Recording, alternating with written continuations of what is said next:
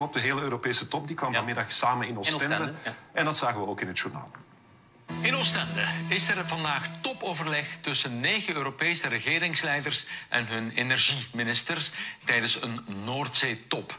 Samen met de Europese Commissie willen deze landen de windmolenparken op zee een forse impuls geven en de Noordzee uitbouwen tot de grootste energiecentrale van Europa.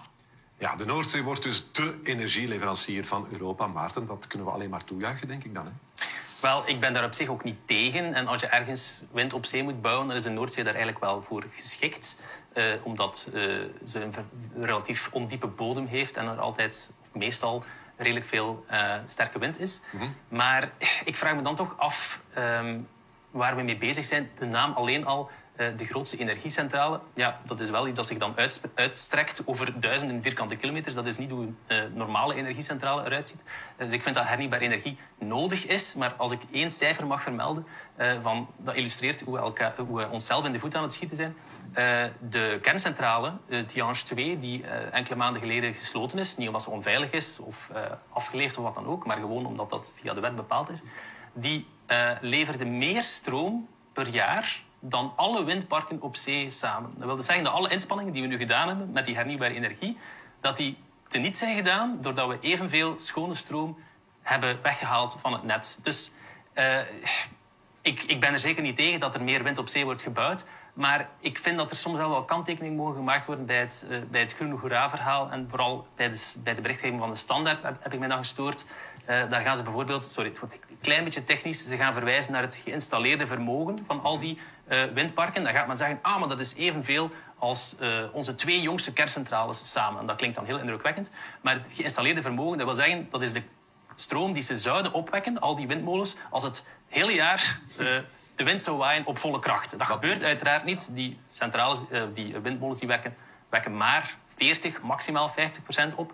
Dus het wordt zo voorgesteld eigenlijk, en men volgt daar een beetje de groene propaganda, eh, propaganda die wordt aangereikt door, door ministers, om die hernieuwbare energie in een zo goed mogelijk daglicht te stellen. Is Terwijl dan eigenlijk, Ja. denk ik, dat we vooral moeten beseffen dat, dat het een keuze is die we maken en dat het de obsessie met enkel hernieuwbare energie is eh, die ertoe leidt dat we onszelf in de voet schieten, dat we onze eigen inspanningen teniet doen. Is dit een pleidooi dan voor kernenergie? Absoluut. Ik denk dat we kernenergie nodig hebben. Ik, ik verwees Waar naar... komt die aversie van zoveel mensen tegen die kernenergie dan vandaan? Wel, je hebt de hele discussie over het afval natuurlijk. We zijn al decennia bang gemaakt eh, voor nucleaire rampen en afval. Enfin, ik zal daar niet over uitweiden, maar dat is zwaar overdreven. Hoe, Eh, hoeveel, hoeveel, hoe groot moeten wij ons de afvalberg nu bijvoorbeeld eh, voorstellen? Die... Dat is een voetbalveldje. Dat past mooi in, in een paar containers. Dat is zeer overzichtelijk. Het komt Wereldwijd. nooit... Wereldwijd past het in één voetbalstadion. Dus het is, het is echt... Het is, eh, eigenlijk, zeker als je dan bereik- berekent hoeveel eh, mogelijk schade het zou kunnen veroorzaken, zelfs in de worst case scenario's, als we het onder de grond stoppen en alle vaten beginnen tegelijk te lekken en je eet alleen maar eh, eh, biologisch voedsel als je vlak boven de, eh, de bergruimte woont enzovoort, dan, dan blijft het echt triviaal in vergelijking met andere milieuproblemen. Maar goed, dat is een heel ander verhaal. Ja, het is een pleidooi voor kernenergie. Het is zeker geen pleidooi tegen hernieuwbare energie. Het is een pleidooi tegen de obsessie met hernieuwbare energie. Eh, Alsof het je- alles, alles gaat oplossen. Alsof het alles gaat oplossen. En ook in vele opzichten is hernieuwbare energie, zeker de exclusieve keuze voor hernieuwbare energie, is slechter voor het milieu. Dus de voetafdruk van die windparken, die is honderden of zelfs duizend keren groter. Ik zei het, het gaat om een energiecentrale tussen aanhalingstekens die zich uitstrekt over eh, duizenden vierkante kilometers, die ook een veelvoud vergt aan eh, beton en staal en ook zeldzame metalen die nodig zijn voor de sterke magneten in die windturbines. Dus nee, ik ben daar allemaal niet tegen. Maar men kan soms- de indruk krijgen, ah, het gaat de goede kant op met de energietransitie, want we zien toch eh, windmolens langs de autosnelweg enzovoort. En, eh, en de ven- Ventiluslijn wordt getrokken, dus de windparken eh, die worden aangesloten op het net.